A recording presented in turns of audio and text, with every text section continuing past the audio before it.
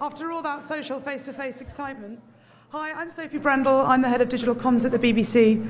Uh, thank you all so much for coming along tonight for what should be an absolutely fantastic session. And um, before I hand over to Roger Mosey, the director of London 2012 at the BBC, to introduce our absolutely fantastic panel tonight, just a couple of quick words of housekeeping.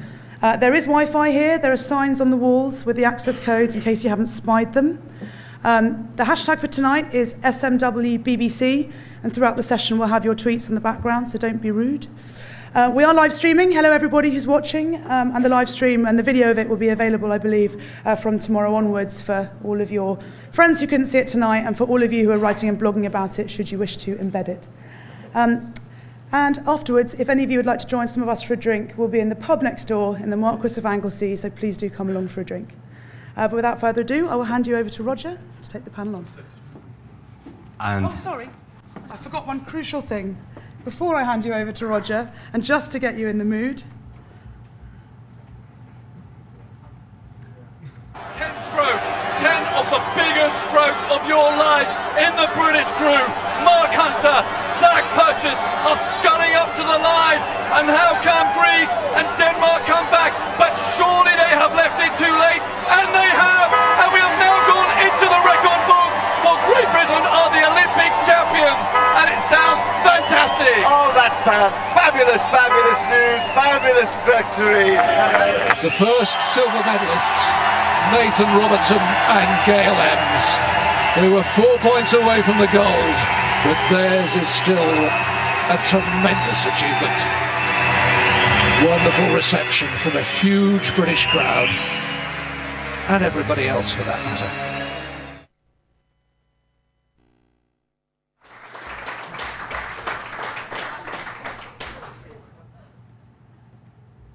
and I'll now hand you over to Roger. Right, thanks everybody. Um, a distinguished panel. I'll introduce them properly in a moment or two. Um, I should say um, thank you to Lewis, who got me to go on Twitter about uh, eight or nine months ago. So I'm now at Roger Mosey on Twitter, and I found it horribly addictive. So actually, the social media, which I've always been uh, uh, quite a keen blogger, and I got onto Facebook relatively early, but Twitter has kind of, I think, completed my social media education. So it's a real pleasure to be here tonight. Um, I was just going to spend a minute or so saying what the BBC is doing in 2012 because um, clearly it's the biggest thing we have ever done. And it's not just about the Olympic Games, but if you think about this year with, uh, or last year with the royal wedding, that was just one incredible day. We've got three days this year of the Diamond Jubilee, which is going to be huge. Uh, we've got 70 days of the Torch Relay. We've got 80 days of the London 2012 Festival, the biggest cultural festival in our lifetimes. And then the small matter of 17 days of the Olympic Games with 26 sports all having effectively their World Championships. I mean, to do that, um, a lot of our activity, obviously on BBC One and BBC Three. Uh, we'll also have a new radio station, Five Live Sports Extra Extra, covering the Olympics. But then there's a big innovation story this year, uh, a lot of which is planned, obviously. So uh, 24 simultaneous live HD streams coming in at peak, and the pledge that you'll be able to see every event from first thing at the morning through to last thing at night. That's the first time we've ever offered that. Um, yesterday, we announced that we were doing um, 3D, so it'll be 3D for the opening ceremony, the closing ceremony, the 100 metres final, and nightly highlights. Uh, we're also doing super high vision. That's 16 times the quality of high definition. And you'll be able to see that. You'll be able to get tickets to go and see it at Broadcasting House in London, at Pacific Quay in Glasgow, and at the National Media Museum in Bradford. So all that's a kind of planned innovation story. But I think social media is probably the bit of it that we don't quite know how it's going to work because, um, especially with Twitter and, and sort of instant social networking, this is the first Olympics where it's really been a powerful force. And one of the things want to do tonight is just explore what that could look like and the kind of challenges for the organisers, for the broadcasters and for the athletes. And uh, we have here a, a, distinguished panel who are very keen indeed on social media. And I was just saying to Zac, I looked at his website today, which if you haven't seen it, is a, a really kind of state-of-the-art whizzy website and um, lots of tweets from everybody on this panel. So let me now um, introduce them. And the general idea will be that I'm going to ask some questions and provoke and needle a bit. Um, you can then join in, and the whole thing is designed to be, um, as the current fashion is, uh, interactive. So we have with us uh, three Olympic medalists and three MBEs. Um, I think those do overlap, as well as some uh, BBC faces. Uh, star rowers Mark Hunter and Zac Purchase, the reigning world and Olympic champions in lightweight double sculls. They won gold in Beijing in 2008, and they're going to defend that in London this year, or more, more accurately, I suppose, at Windsor. And at last year's World Rowing Championships, they successfully defended their world title. Um, Gail Emms is a former world and Commonwealth badminton champion, and we saw their Olympic silver medalist uh, with Nathan Robertson. Uh, she won gold at the 2006 Commonwealth Games and silver at those Athens Olympics. And Gail is now a broadcaster for BBC TV and radio, and in a bit of stereotyping, will be doing badminton for us in London 2012. Um, James Pearce is a BBC Sports News correspondent who's reported from every major sporting event from the BBC. And um, uh, at the risk of making James blush, I think his Twitter reporting of the Harry Redknapp trial was actually extraordinary.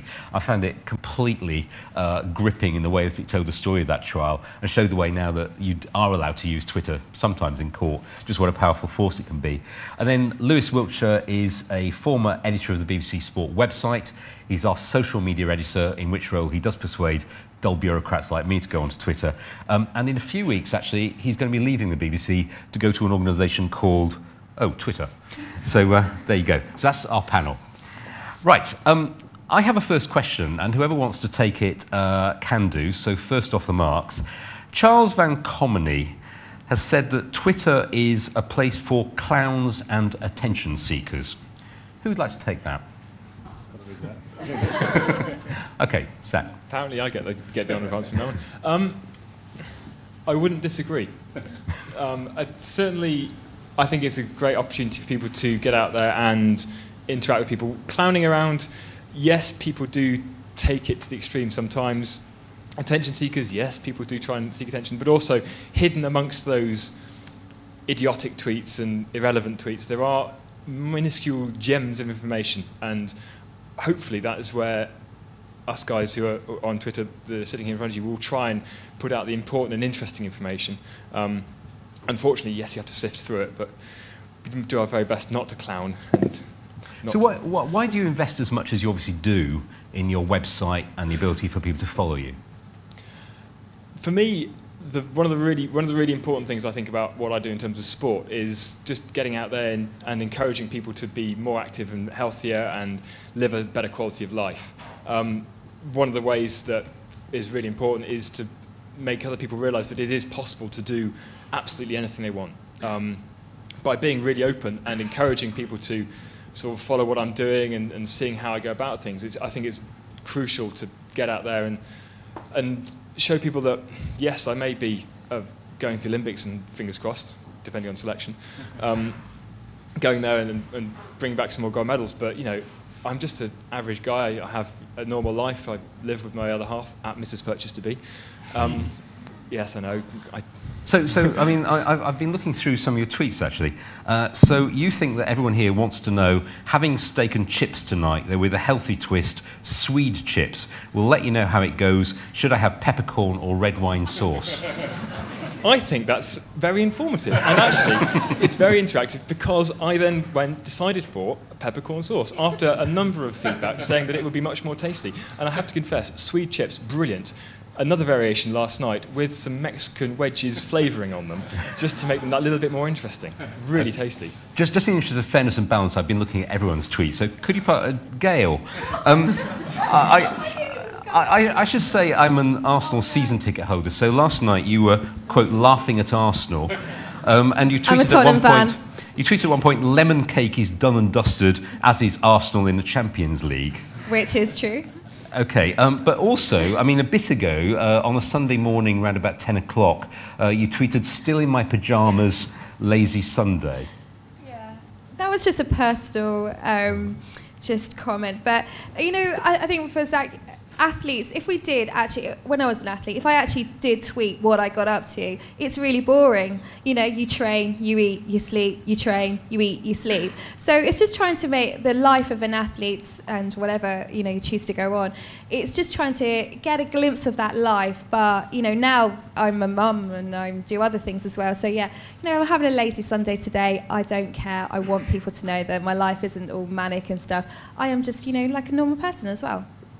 I'm going, to bring Mark in in a second, but I, want to go to James now. I mean, James, presumably you as a journalist want these people to tweet as much as possible and to give you stories. And a lot of them do, as we well know. I mean, they have more intelligence, the ones sitting alongside me, than some of the, the footballers do, who um, give us stories day in and, and day out. Uh, although I do think, I mean, for example, Rio Ferdinand, of course, everyone I'm sure here probably follows Rio Ferdinand, and I mean, he has changed his profile so well through the use of Twitter, and he now can, I mean, for example, when, I mean, he was, he was tipping Redknapp to be the next manager within an hour or so of Capello having been sacked, or having left, um, I should say. Um, so, um, yeah, Twitter's given someone like Rio so much more power. And okay, these guys aren't to Rio level now, but they might become as the, the, first week in August. And everyone's going to want to know what you've got to say, and you finally have got the outlet to say it. So it's something which you, you couldn't possibly have had in, in Beijing four years ago. So all power to your elbow. So, so Mark, when, when you tweet, do you deliberately think I'm connecting with my audience as opposed to being filtered through journalists or through the media? Yeah, definitely. The, the last thing you think about really is like journalists or reporters looking at your tweets. Um, I tend not to talk about what I do as an athlete, as a rower, because rowing's pretty boring, to be honest. Um, to tell people what you're training is not very enjoyable to listen to, but to tell or explain what you're doing outside, the fun stuff that you get to do, um, the opportunities that have happened since becoming Olympic champion, you know, I would never have had before. So to go to different events or you know, go to football matches and be looked after. You know, I enjoy going to other sporting events, and whenever I go now, it's not just a case you get a ticket to go and sit there. You get to do enjoyable things before and after the game with the team or the manager. So you know, it's changed the way that I can kind of put that across. That you know, there are some luxuries um, on the other side of being an athlete. Now, um, as I said, I trawl through everybody's tweets, and I'm going to come to um, one that Zac did in a moment or two. But from you, um, Nespresso coffee machine arrived, already looking forward to my morning cup. And then, wow, morning coffee was a treat today, and the froth milk was the perfect finish. Um, uh, do we need to know anything about you and Nespresso machines? Or? Probably not, but it was. Uh, I suppose that's the, the nice thing about it is that you can talk about the new things that you get. Um, and over Christmas or New Year, I went away with someone that had one of those Nespresso machines, and I was just blown away by it. I was like, I've got to get one of these. Um, and then I got it, and the coffee is fantastic. Um, obviously, tweeting about it, you're hoping that someone will read it from Nespresso and send you some free capsules.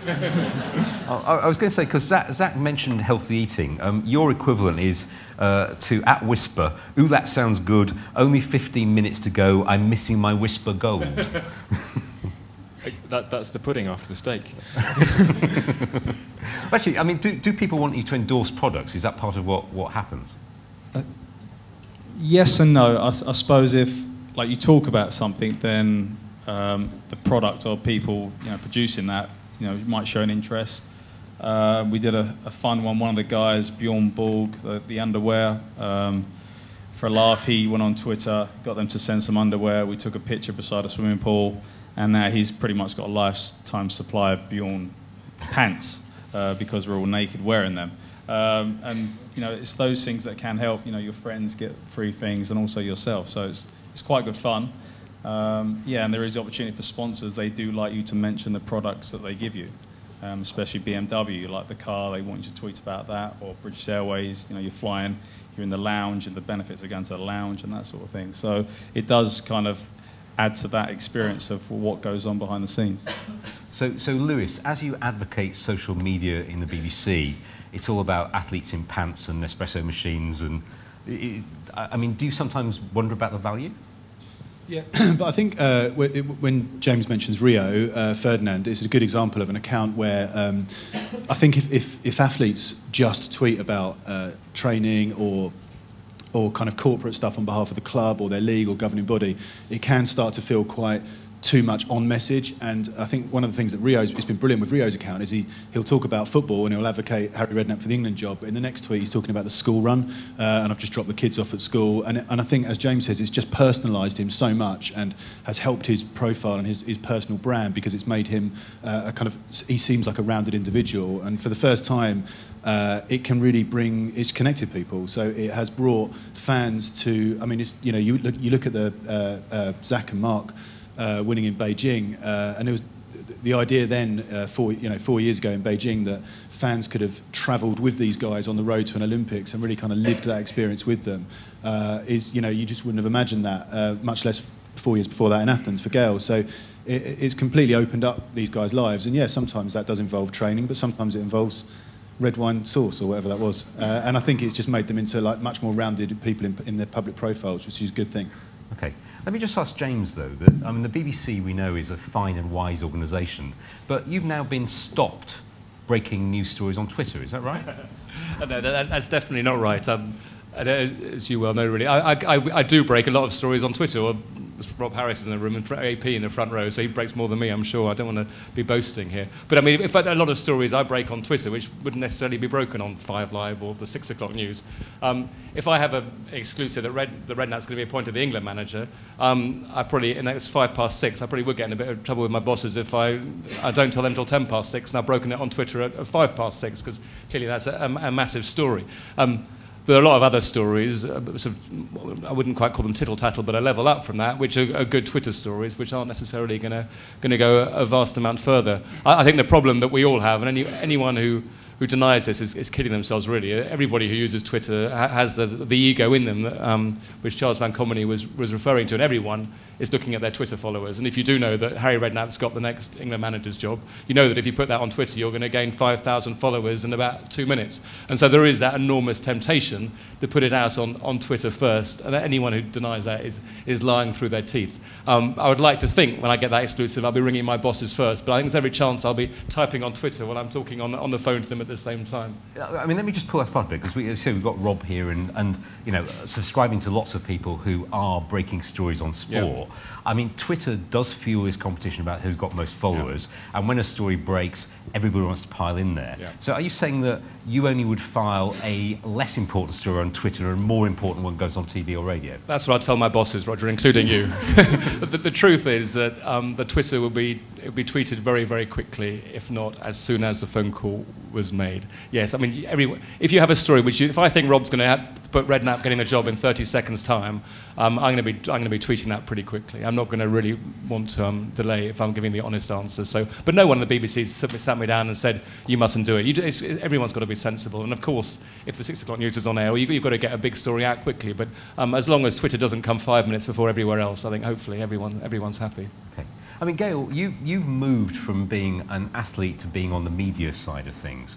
I mean, do you think it's making life more complicated for athletes now, the fact that you've got all these different ways of communicating? Was it simpler in your day when you just gave an interview to Barry Davies afterwards? I think it's made more, it more complicated for athletes. Um, before it was you just did your thing and you had the various media days and you got your interviews out and that was it. You're left to your own devices. But now there is that temptation to look at who's following you, put out you know, occasional comments, see what other people are commenting about you, and is that temptation reacting to it? You know, you're in this bubble, and um, you know, you put something out, could be quite innocent, but someone you know takes it in a different way, and suddenly you're under scrutiny for it. So I think it makes it a hell of a lot complicated, and it's something you know, uh, an added. It should be, you know, well, it should be a fun thing for athletes to do and to write about, and just you know, again, make them more personable to to people. But um, you know, it, can go the other way. So it's an added, um, I'd say it's an added pressure for them. But when, I mean, when you were competing in Athens uh, and Beijing, um, generally speaking, the public could not get to you to say what they thought of your performance. Whereas now, if you're in London 2012, they can say, you know, rubbish performance tonight, and that goes direct to you. So is that hurtful? Yeah, it is. And, you know, before, before Athens, I remember reading some internet forum and, you know, someone was slating my badminton performance. And it was just, you know, it's very, very hurtful, but it was just one person, this one site that I, I looked at. Now it comes from everywhere. It can come on Facebook, it can come on Twitter. You know, you can't escape it.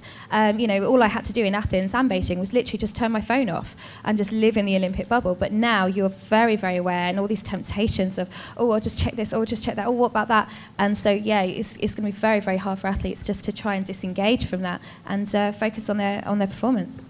Now, uh, we talked a bit about BBC guidelines. I mean, Zac and Mark, you've got BOA guidelines and Team GB guidelines. And as, as I understand it, I mean, one of the things they're worried about is that you potentially disclose more information to your competitors than the team would want.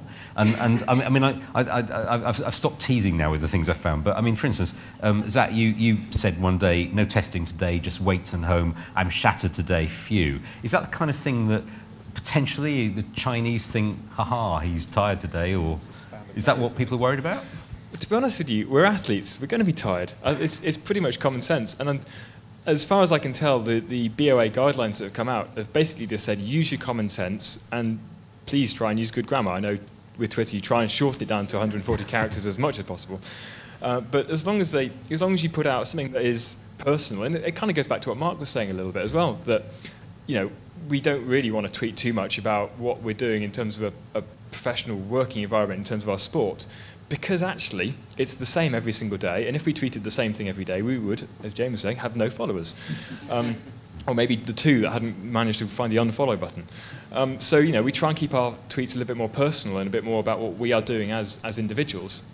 And then that makes it a lot less um, volatile for people like the, the BOA to, uh, to, get, to get a bit of a, a, a tip about. So. And, and Mark, is there a, an, an upside to what we're saying about people can get to you direct and be critical, but equally in the home games, do you think it might bore you up? Do you, do you actually want people to interact with you? I think that's a choice every athlete will make when the games comes, wh- whether they respond to those comments or react on them. Um, I'm quite looking forward to it. You know, it's going to be interesting to see what people think. And you know, you, you're an athlete. You're strong-minded. You're there to perform. You've got to take the rough with the smooth. And people are going to criticise you. They're going to say nice things. But at the end of the day, just get on with your job and get on with it. And if you want to react to it, it's entirely up to you. Um, I don't see it being a negative thing because at the end of the day, you're going to, have to perform, and whoever's going to kind of say nasty things behind the scenes are just you can avoid them at all costs. You can unfollow them or get rid of them. Pretty much, it's entirely up to you.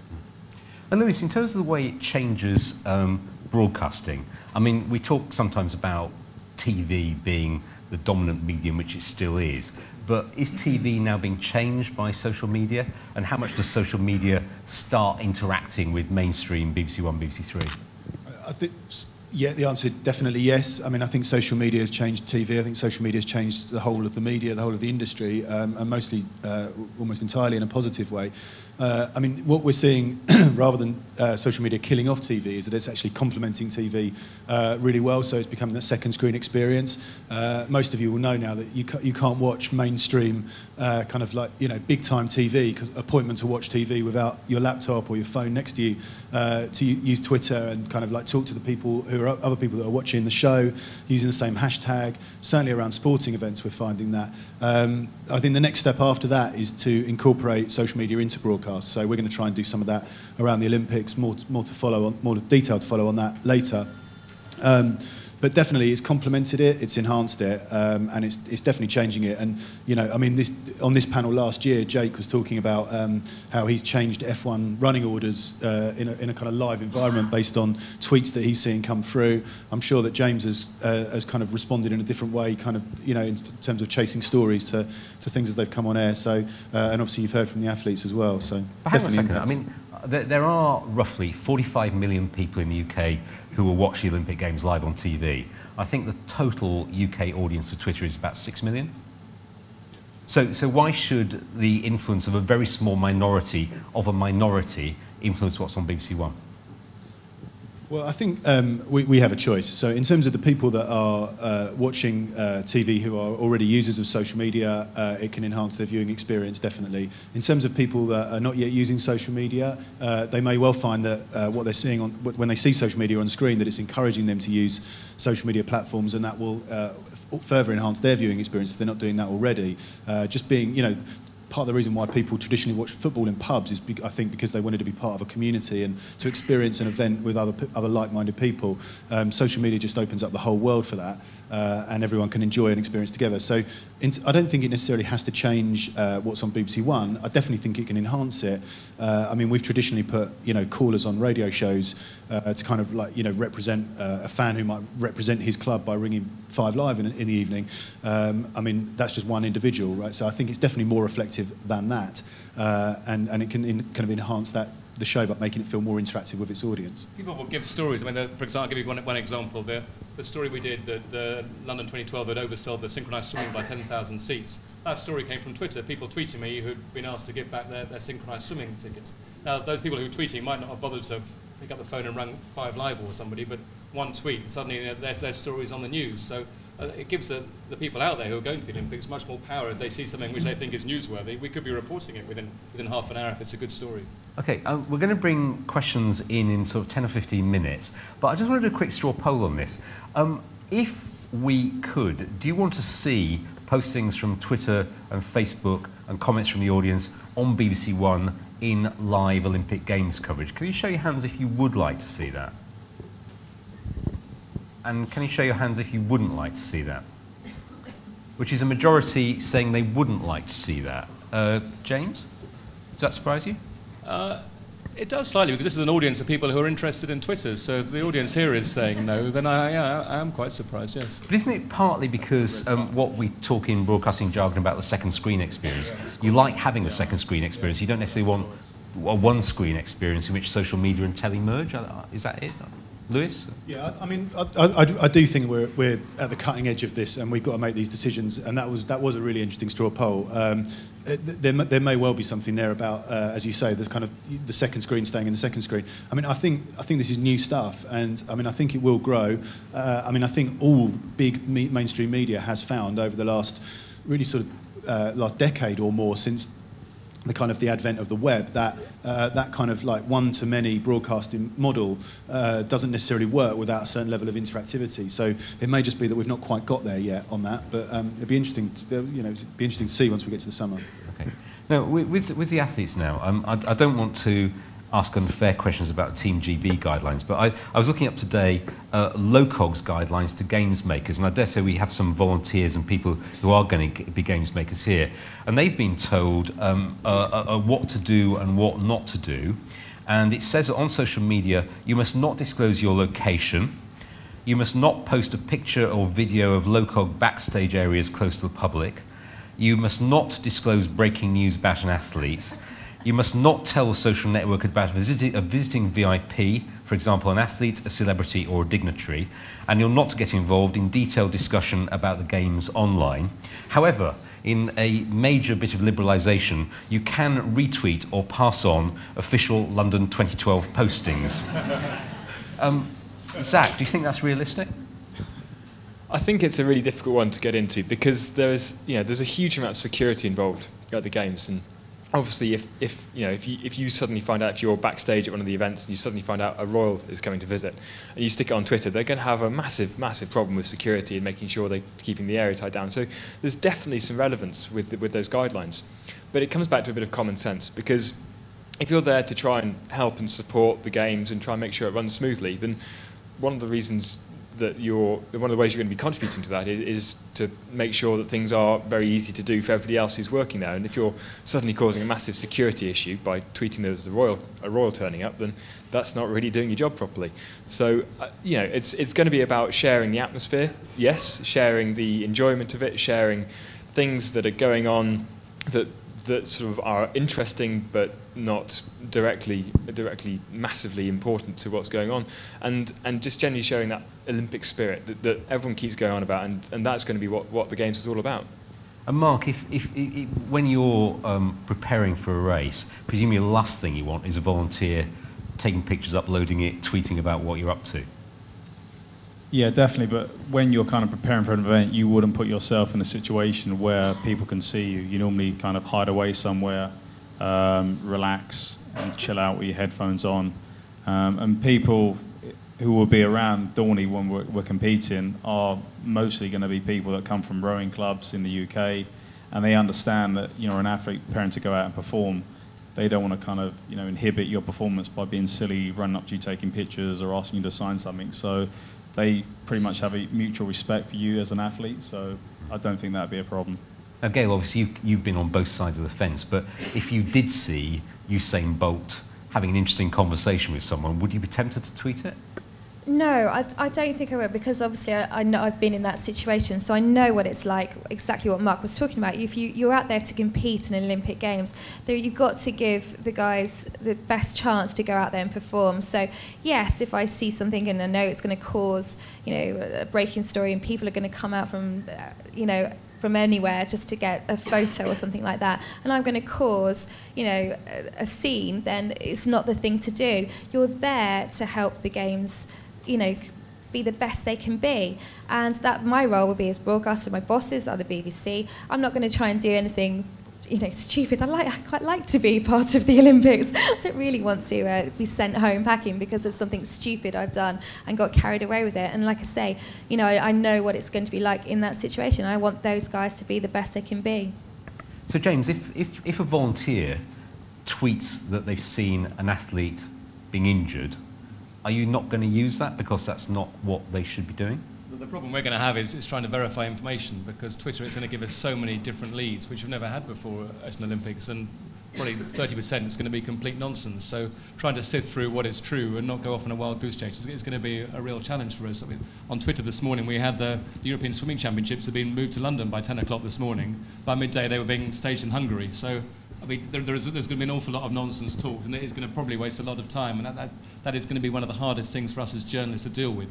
But having said that, there is obviously Twitter is a news source which we've never had before at the Olympics, and so the, the benefits are going to far outweigh the minuses for us. And how do you, how do you verify a story like, like an, an injured athlete? How do you, how do you you, you only go to the official team, or? Well, you, yes. I mean, in, in, theory, if someone tips you off that Usain Bolt had been seen on crutches, you, you then ring the Jamaican Association or, or whoever. But it, those stories are going to be hard to verify when we're mainly outside the village, and those kind of stories are going to come from within. So if, if there are, are, genuine moles who are tweeting from the village, um, we'll need to try and verify them pretty quickly. And if, if we believe they're, they're true, they're going to be getting on our getting on air a, a fair amount during the games. And, and Mark and Zac, do you see the media as uh, your friend in these circumstances or as hostile? Is that? I th- I th- we've become very good at, I hate to say it, but controlling the media when we're competing. Um, it's entirely up to us when we want to be spoken to. Um, in Beijing, we avoided talking to the media after our semi-final, so we could prepare for our final. And it is just about an athlete just being sensible and just taking control and not being controlled. I think that's really important. I think okay. I think it's sorry. I think it's also about being honest because if you if you are you know, if you make it very aware that, that there will be the opportunity to interact with the athletes, then, then it, it's fair enough to say, okay, look, hold on, give us 24 hours. We'll talk to you this time tomorrow, but right now we've got a bit of a job to do. And there'll be a much bigger story to report on tomorrow if you just give us the space now. And Gail, do you think that um, people in the media who have been athletes are inherently more sympathetic than, you know, people like James who just want to kind of stir up a news story? Um, yes, and uh, sorry. yes, we are. Um, you know, it's it's very hard now in in, in the media circles, um, in local uh, media. I'm doing at the moment. Uh, you know, they're all getting very excited about the ones to watch. Oh, let's go and interview this person. Let's go and interview that person. And I'm trying to say, you're no, no, leave them, leave them alone. They're preparing for the biggest event of their lives. Let's just give them some space. You know, let's work it in a way that we can help. They do. You know, it's it's trying to explain, and it can be very hard to explain to media when you know they look, they really don't want to do it. They're stressed out. They, this competition hasn't gone too good. Just leave them be and let them, you know, just let them know that we're here, and when when's good for them to talk to us, then you know it's about being honest and having a really good, um, really good communication, really good relationship with the athlete media. Which are you know if you have that, then you're going to get the interviews, you're going to get that respect with each other, and the, and uh, get the the stuff that that's going to help both parties. But if you just constantly in their face trying to get this because you know everyone's really excited about it, it's not going to work out that way. Okay, I'm really interested in questions from the audience. So uh, I don't know if there's anything immediate from uh, anyone here. Anyone want to go first with a question? It's bound to be someone. No? we, don't, we don't bite, promise. Anyone? Your chance to talk to a gold medalist or a, right? Okay, at the back there. Is that Nick? Hello, Nick Newman. Um, I'm interested in um, the athlete's perspective of whether um, you feel you can uh, deal with this issue of scale. So one person and you've got all these people with the feedback loop. To what extent do you think you need sort of something like a producer to help you filter that or help you deal with the new multimedia tools as social media develops going forward? Do you think you need somebody, or does that reduce the authenticity of the whole thing? I think, I think, yeah, I think the, the one of the joys of Twitter is its authenticity, and and there's similar things with, with Facebook as well, to a, but to a slightly lesser extent. Um, and I think one of the one of the reasons that it is taken off so much in a, in the sporting environment and and with other other sort of high profile people is the fact that it comes directly from the horse's mouth. You know, it, it is the person on, who's sending the tweet saying it, and that that, ha- that is what really sparks its authenticity and, and the enjoyment that people get out of it. I think if you if you try and, as you say, filter it or, or put it through a, a, you know, some, someone else writing third, a third party writing the tweet, then that removes instantly the personal approach and the sort of the, the really nice intimate touch that you get with it. Um, I'm just reading some of the tweets coming through. I mean, someone's said here, integrating social media into broadcast TV smacks of asinine scrolling shout-outs on late-night junk telly shudder. So thank you, Simon Everest, for that. Um, Mark, do you think you want to add on, on the point that uh, Nick asked? Um, I, I think as an athlete, it's just it's common sense, really, isn't it? You know, it's what you want to tell people, um, and I, I think yeah, if you did have a second party kind of filtering things through it, it'd make it pretty boring. You know, that wouldn't be interesting to anyone. So I think coming, as Zac said, from the horse's mouth is a lot more enjoyable for us, and it's actually our point of view that's going out. More questions, please. Um, Rob. He's a journalist, by the way. Since James mentioned me, it's um, uh, Rob Harris from Associated Press. Um, a lot of people talk about how journalists sort of cover athletes on Twitter or mention them or uncover stories. How much of a fear is it, you know, particularly in the head of the Olympics, that a member of sort of Joe Public spots you out and about having a few beers, up to something, takes a picture of you, posts that on Twitter, and, uh, and it, you know, it's actually a member of the public who might expose something rather than a journalist? We're rowers, no one knows who we are. We're not footballers, so it's never going to happen. Uh, and to be honest, like we don't really go out drinking like that, so uh, you'd never see us in that kind of light um, at an event. There was one quite recently, wasn't there, where the team was out partying. You'd never see rowers doing that because you know we're professional in the way we perform and want to be seen from the outside. So, but I understand, like if we were out in a bar having dinner you know, might have a glass of wine or there'd be a beer there, yeah, someone could take a picture, but um, that's just something you have to deal with.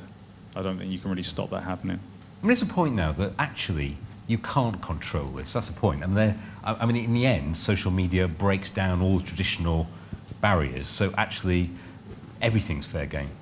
You can't control people's opinions, no, but you can control situations that you put yourself in. You know, up and coming, you wouldn't, like Mark said, you would not put yourself out party with a few beers out at two in the morning when you were training because you just wouldn't do that. You can't, you know, you can control that. You can't control people's opinions, and that's what social media is, is great because you get a wide range of opinions. But yeah, can, there's some things you can control. I think the biggest worry, I think, um, from an athlete, it's not about members of public seeing. I think it is friends and family, innocent you know, sort of remarks. I think that's because they're close to you, very, and um, you know, sort of just mentioning a little thing here. They're the ones that I think it's really important for the athletes to say, you know, mom, dad, you know, you're new to, you know, they might be all excited because they're on Twitter and might put something totally innocent on a remark, and actually, it's the people that are closest to, you know, the athletes. They're the ones that really need to just, you know, maybe lay off uh, a little bit beforehand. More questions, please. Do think it's good? Obviously. And just wait for my microphone. Sorry. There's the whole uh, aspect of betting and getting information in a, to help you win your bet, as it were. Do you think this is going to play a part? I'm not a gambling man, so I wouldn't know. Again, it's it's you know things that come out. You know your your mum and you know people, you know, around you close, just putting innocent remarks, and then, you know, sort of bets, just social media, you know, sort of people's opinions, isn't it? And then, oh, it's, oh, I don't know what I'm trying to say here. Um, yeah, it's very scary to, about the betting. I think it's a very, very scary part of 2012. And again, you know, this is why you've got to make sure that, you know, if you have got a slight injury or, you know, you know something about another person, you've got to be careful about what you put out because, of course, then you can, you know, maybe other people might bet on someone. Oh, you know, you know what I mean. I'm not explaining myself very well, but yeah. I mean, Gail, Gail do, do you know athletes who absolutely will not do Facebook or Twitter or any social media because they just think, hey, you know, I have a right to a private life. I'm not going to expose everything I want to think about or talk about or pictures to the world. I don't know any. No, not in the badminton world. I don't know anyone who's not in a Facebook or Twitter situation. You know, they are they're, they're that age, they're that generation. You know, maybe it's sort of when we were playing. You know, there was a few of us that weren't on Facebook, and you know, we've just started getting into it. Just when around Beijing time, oh, Facebook, this is interesting. Um, so yeah, it's just it's just this generation now. You know, the athletes now are you know 17 to 28, 29, rough age 30, 31, 32. 33. How old are you? Too old. 33. 33. so yeah, it's a generation. You know, that's what they're, they're used to. They've grown up on it. So th- they, and Mark, they do you, do you know anybody who doesn't do this Yeah, stuff? we've, we've got a couple in the rowing team that uh, don't go on Facebook or Twitter. Uh, they're very private people, like to come and do their job, come to work, train, and then leave, and don't like to get involved in anything like that. Um, a lot of the team have actually just come on Twitter in the last six months, to be honest. They've started to understand what it's about and trying to build profiles and kind of network with people outside and seeing the benefits in that. So, you know, it has the team dramatically has changed with the people, you know, getting involved in Twitter and posting things up. Uh, the heavyweight men have got into it quite a lot. Uh, there's a lot of banter between them and between athletes and that sort of thing.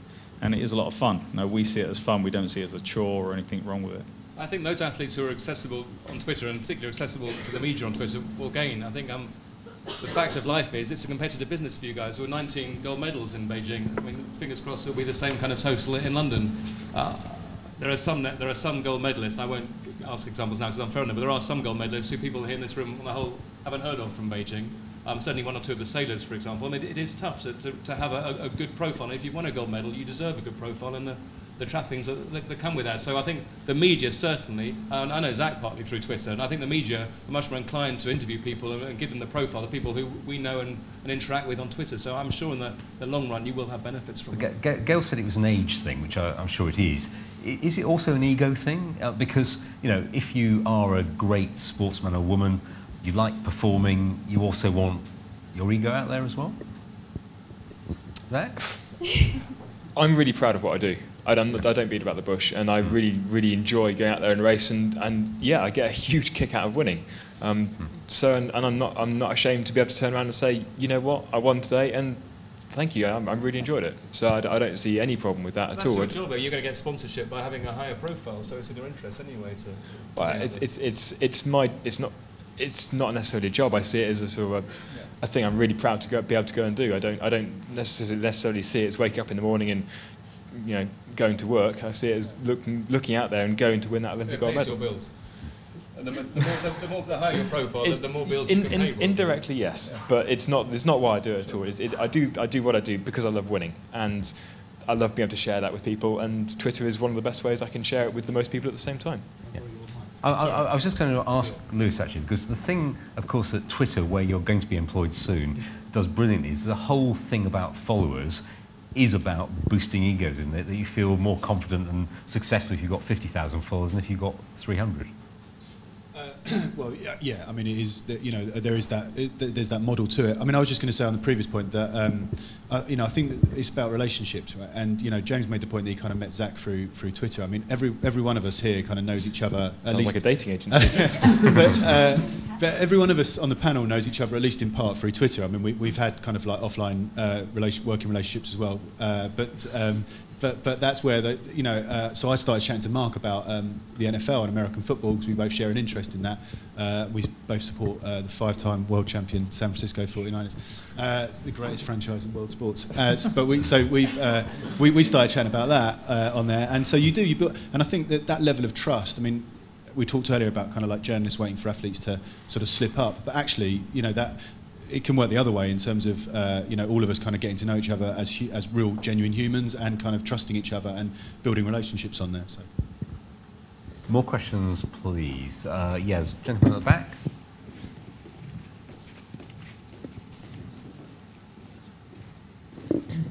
Uh, Jake Sargent from Pitch. You kind of talked about it a little bit in terms of endorsement around things like Nespresso or Bjorn Borg, but I just wondered in the in the wake of the recent um, Rio stuff that he did with Snickers and the flack that he got for not being upfront about the fact that they were actually paid for tweets. I'd be interested to get the panel's views on uh, whether people should be forced to put spawn in, within tweets that are paid for and how enforceable that is. Um, I've had a few um, sort of contracts and um, for various sponsorship, and in in the contract is that I will tweet, you know, regularly about a. Um, you know, or about the event or about a, a, um, a product. So, um, I think that yes, you know, if, if it's so blatant, you know, if it's so blatant, it is obvious, then yes, I think you should put um, that it, this is a sponsored tweet. But you know, you, you can do it in, in, in a in a very if you. Oh, I'm babbling, aren't I? Um, if you do it in the right way, use your common sense, then it's absolutely fine. And I don't think you need to like put stars and flashes. This is a sponsored tweet, but you can do it in the in the right way. It's just you know, as long as you're not just constantly throwing this tweets in people's faces because then people people don't want to know that and people people just you know guess it and, and see straight through it so you don't want to do that either. It's just about common sense but in the right way right context and then I think you know there's absolutely no problem with um, you know sort of endorsing. I think it's also really important to appreciate that sport is becoming more and more business orientated and to be able to produce the sort of results that we do as a country, it's really, really important to, to recognise the fact that we are supported by a number of different organisations. Um, one of the ways that, that that support can be shown is, is through social media and getting um, mentions or whatever through through via our supporters or about our supporters is one of the ways we can do it. I, I think, as Gail, Gail said, as long as not every single tweet is about um, about your sponsors, then fine, have a bit of balance and, and also share the fact that, that you are grateful for the support they give you through the social media work. Do you really like Wispa? I do actually genuinely like chocolate. Generally, um, I haven't come across any other um, green and blacks. I don't know. Do they have a Do they have a Twitter account? I should search. okay. I just saw um, a comment go through from um, at Jake Sargent saying that 95% of the audience here thought there shouldn't be uh, social media interaction on BBC One. So you could decide whether you think it was 95% or a bit different from that. But uh, uh, the social media never lies, as we discovered tonight. Um, more questions from the audience? Uh, yeah, uh, there's a lady, uh, gentleman there and a lady there. Yeah. I'm definitely not a lady. Um, hi, it's Ian Stafford here. Uh, Gail, apart from asking whether you've brought that lemon drizzle cake you were tweeting about last night here, you have. I've got one bit left. Do you want Fantastic. Yes, please. Thank you. Anyway, um, more importantly, or perhaps less importantly, um, just wondering, you were talking, Zac and Mark as well, about uh, common sense, and the last thing you want is for your stuff to be policed. But we all know there's not a week that passes without a sports sports person, normally a footballer, who drops himself in the proverbial. So how do we get round this this, this, this problem? Because sometimes it's it's just a genuine mistake, and they're mortified when they realise what they've done. So where's the balance between policing and not policing? I think it's through not not just guidelines and suggestions and sort of education but uh, it, it's, it's just down to sort of making people aware of where that boundary is. Because I think some, some of the reasons people fall into that, into that proverbial, as you so delicately put it, is, um, is that they don't know, or they don't, or they don't realise what they're saying is, is wrong. I think as long as you write a tweet, read it, and think, what are going to be the consequences of that, and then think, okay, that's okay to send, and send it, rather than, you know, if you are out at 2 o'clock in the morning and you have had a few glasses of uh, lemonade, um, then you tweet something and you might not actually be realizing you're tweeting it, and that will be where you end up in. in just before we lose it, just breaking news Team GB has tweeted Twitter allows us to bridge the gap between the athletes and the public, helping to galvanize the nation's support for our greatest team. So, yeah. endorsement from Team GB on that, anyway. Um, anyone else want to pick up the end of that question about control? I mean, Mark, have you deleted tweets that you think were unwise afterwards or not? Yeah, there's been times when you you'll kind of see another athlete or something tweet something, and you know, the, the thing that really annoys me when it's involving um, banned athletes, I see tweets like that, and straight away you want to react on it and say, you know, they should be thrown out of sport forever, not allowed to compete, end of. Um, but you kind of you start writing the tweet, and then you realise actually this could go the wrong way, so you delete it and then don't do it. So I normally sometimes write the tweet give it a couple of minutes, to think about it. If it's not such a good idea and I've kind of come to a conclusion, then I'll delete it before I actually post it.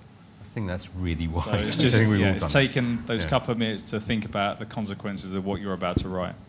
Okay. Um, the lady in the middle who's next to the microphone. Uh, I'm just going to ask a quick question for the back here. I've been waiting. Oh, right. Okay. Sorry. Um, I, so I'm just trying to understand. I know there's a lot of focus on the, the sportsmen here, but I'm more focused on what the BBC is going to be doing. Because from my understanding and your question about how many people in the room want to see Twitter and such with the BBC, are you, I mean, do you have any policy that you're going to, are you going to publish stuff on Facebook? Are you going to interact in that way? Is, or are you just going to carry on being the BBC? Well, I, I think, I think I'll, I'll, I'll partly answer this. I think we, we do, you know, a lot of us in the BBC love social media, and in fact, it gives you audience interaction. And in the old days, used to get um, what was called the duty log, which was a list of the phone calls that people had made about your programmes from about 24 hours previously. Whereas now you get real-time, constant comment going through, and that does genuinely influence you. I think the key thing i- i- is don't think it's everybody in the audience, it's part of the audience. But I think for, for, for 2012, on BBC Three especially, I think we're going to look at social media playing a role within BBC Three. You know, my personal view, do I want lots of tweets around the 100 metres final on BBC One? probably not. So I'm probably with the majority of the of the room here on that. But um, uh, it's, it's, a, it's a very good point. And anyone, I mean, Lewis, do you want to? Can I, just to add to, to that, um, I mean, you know, partly my job will be to try and convince Roger to do some of this stuff. Uh, uh, but in terms of what we'll do around social media to, to answer the question, uh, I mean, we've, we've, we've always been in that space. Um, we were the first European broadcaster to incorporate tweets into our site, which we were doing as far back as 07, uh, when we had two reporters going around France for the Rugby World Cup, and we put them on Twitter, and we had those live tweets being pumped into our site. Um, we, we, we use Twitter as a news gathering tool. Uh, we're, you know, we're a content company, and we're about content, and we're about making that content as av- available to as wide an audience as possible, and we're, we want to be interactive with, with our audiences as well. So these platforms for us are news gathering tools. They're, they're ways of uh, correspondence in the field, like James, breaking news, but there are also ways of getting news in. Uh, so every news editor, uh, in B- everyone in a news editor position in BBC Sport, it's a completely non-negotiable rule that they have to have a Twitter account in which to follow, not necessarily to tweet. We want people like James to be tweeting, but we want all of our news editors to be following the key people like Mark and Zac and Gail and others, uh, athletes and others. Um, so yeah, we're using it as a news gathering tool to uh, to bring in. We're using it to publish, uh, and, we, and we're using it to interact with our audience as well. So we've been, we've been there for a long time, and, and it will definitely be a key part of what we do for the Olympics. I would just say other social media platforms are available. Um, I was going to say, was say been quickly as well. There, there was, there are, it's easy to say just put Twitter on BBC One, for example, but um, there are issues. I mean, our, our Twitter feed, my Twitter feed now goes onto the, the BBC website. During the Harry Redknapp trial, my Twitter was going straight onto the BBC website. Uh, anyone who, who followed that trial will know that there was um, there was an interview Harry Redknapp did with the News of the World, which was at the- the heart of the case, which was played in court. Uh, he likes his effing and blinding, does our Harry. And, um, and I was just tweeting uh, what Harry was saying. Now, I just put F dot dot dot, but I was, tweet, I was, you know, I was still tweeting the, the F words. Well, I then got a text from one of Lewis's colleagues at the BBC website saying, stop, stop, this is all going on the website. You know, we can't, we can't have this going on the front page of the BBC website. So there are, you, you, you can't just put one, one to the other. What was perfectly fine for Twitter might not be fine for BBC One at, at 5 o'clock in the afternoon during a 100 metres final. And it's just worth saying, I, I- I quoted the figure earlier of 6 million audience for Twitter in the UK. I think Facebook's around about 26 million. Um, so, so Facebook is still absolutely huge, and especially in terms of exchanging video and people um, pointing to, um, to content. Um, I'm definitely going to bring that lady in there because she's been waiting for a bit. Thanks. Just a, a point about interaction, really. I'm interested in the athletes and their policy on blocking. Um, you know, unlike most of us, you're presumably spending time with uh, sports psychologists to put you in the winning frame of mind, tell you you're brilliant, and how you feel about your work can materially affect your performance. Whereas, you know, somebody says something critical to me, it might ruin my morning, but it's not going to affect my performance. I mean, that what's your policy on blocking people who are very critical? And um, are you going to? I mean, is there a temptation that your Twitter feed, you know, you withdraw from that interaction and become a sort of news feed, which has its own implications? In terms of criticism, I think you know certainly I know for um, Mark and I myself, we are exceptionally critical of ourselves anyway, and I don't think we'd ever come across anybody who could be more critical of us because we have such high standards. You need those high standards in order to go and win. So, if people want to come on, come along and say something critical, I don't mind it. I have, I have absolutely no problem with someone being critical as long as it can be constructive or them, them helping in some way. If someone's just abuse, abusive, then obviously that has a slightly different policy. I don't, I don't have any qualms. But if someone comes along and starts throwing tweets at me saying X, Y, and Z, about saying, you know what, I don't want to hear this, I don't need to hear this, it's not helpful, and it's not part of what I want to get out of social media. I want social media to be fun, interesting, and exciting to be taking part in.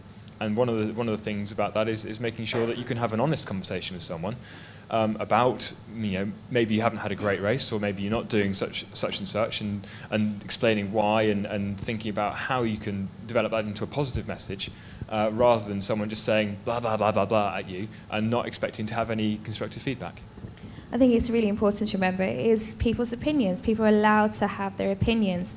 And, you know, Mark and Zac are very honest and say, you know what, we're critical of ourselves. We can take it. We're, you know, sort of very strong-minded people. There are going to be athletes out there that are not like Zac and Mark. And then I think that's important for those people, you know, to maybe slay off Twitter. If they, you know, it is a social media, people are going to have opinions of them. If they can't handle that and, you know, for, they're going to get down about it, if they can't do that, then, you know, my advice would be to them is just to just stay away. You know, if it's got to be something, it's got, it's got to be you've got to see it that you've got to be able to handle it. If you cannot handle it, if you cannot handle the interaction, then just stay away. And I think it's really important, you know, some people, with the pressure of an Olympics, to have people saying, you know, various bits of stuff, it could be very true. But again, if they can't handle it, I think it's best advised, you know, for the coaches and sports psychologists to say, then stay away, it's not worth it. You've got to focus on the Olympics. I've never blocked anybody on, Twitter, but I've got someone, I don't know if anyone else has got them at the moment. Every day I get sent a different verse of the Bible. Is it just me? Maybe it is just me. And I'm, I mean, every day I agonise over whether to block them, but then I think I'm going to someone up above is going to like look down on me, and I, I can't, I, I'm in a lose-lose situation. So the moment they, they remain unblocked, I'll pass them on to you, Lewis. It could do you. Yeah, we've probably got five to ten minutes left. So uh, question there. Um, the greater your um, profiles are on Twitter, obviously, the better it is for your sport. It grows the profile of your sport. Um, do you think that athletes should be on Twitter? Like you were mentioning before about members of your team that have stayed away from it, but what's your opinion on that? I think it's got to be a personal choice. You know, some people want to kind of, you know, get in touch with their fans or people that are following them or are interested in it, and other people just want to be left alone and to get on with their job and not have any interaction. Um, it's just up to the individual and you know what sort of person their personality is. You know, whether they want to, you know, have interactions with people, or as I said, just be left alone. Um, I don't think you can make someone go on it because they won't enjoy it. And part of the, the, Twitter thing we're all in there is because it's fun, it's enjoyable to chat and talk about different things. If you want to promote the sport, that's down to the sport themselves. So it's the Badminton Association or the Rowing Association, then they, they're the ones to promote the sport. That's not your job. Your job is to go out there and perform as an athlete. So, you know, you've got to remember that. You're not, you're not doing that for them couple of uh, ladies there.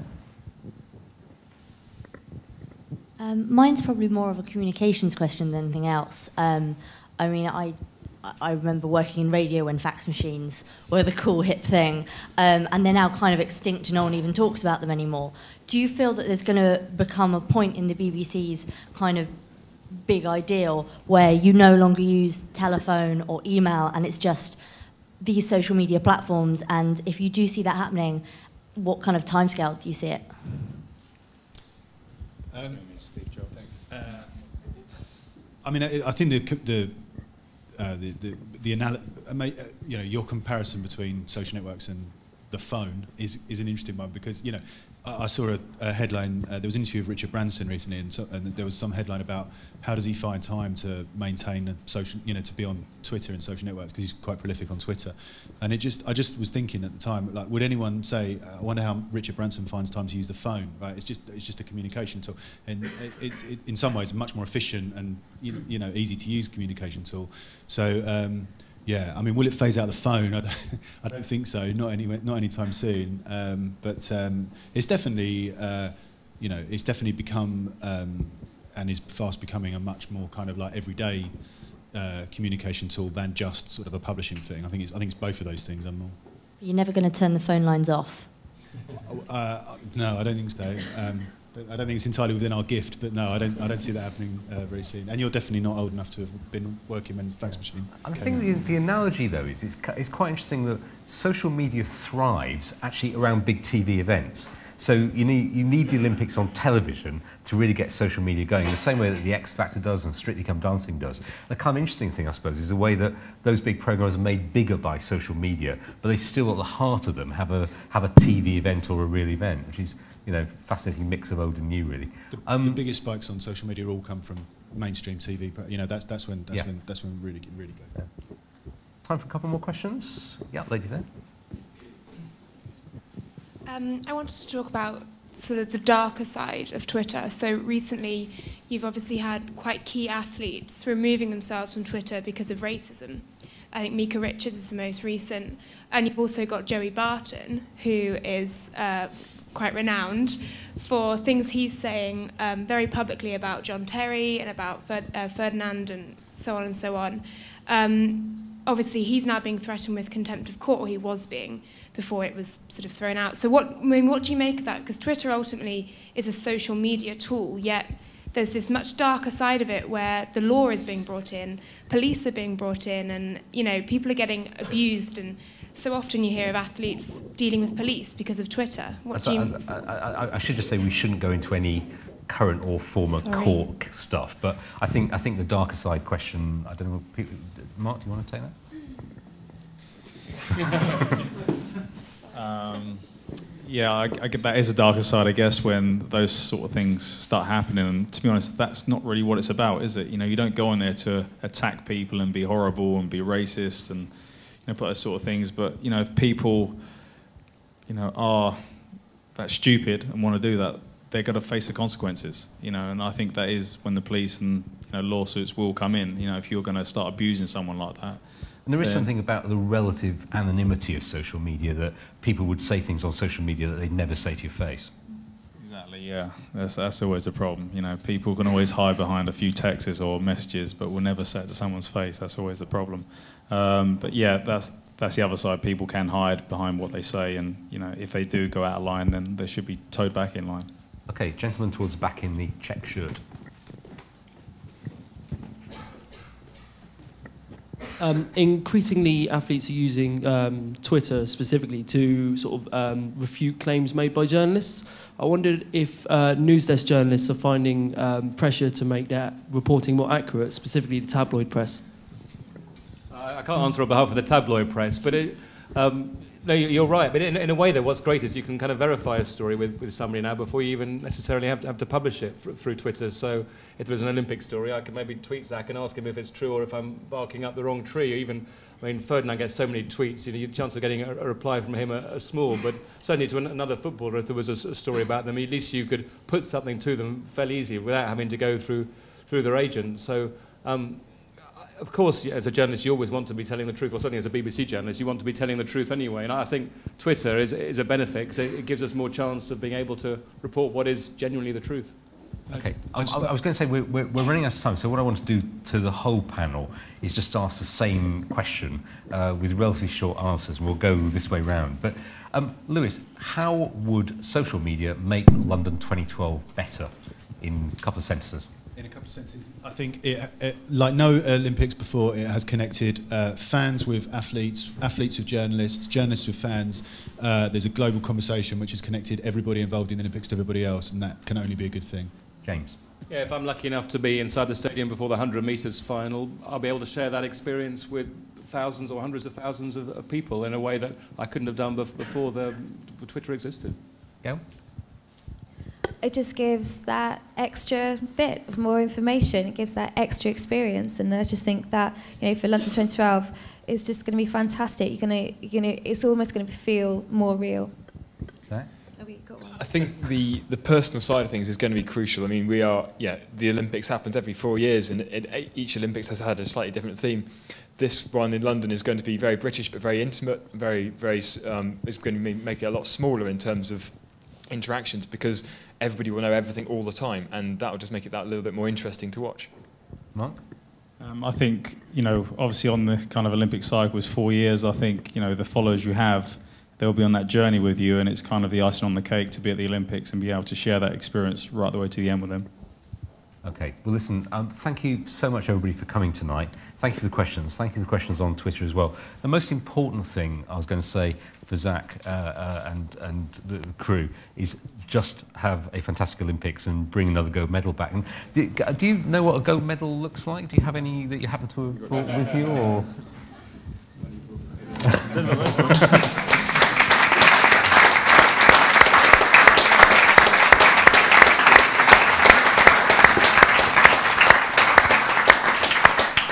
um, we would like to see more of those, please. So uh, We'll do our luck. best. Good luck. And thanks to the panel and thanks to you for coming along.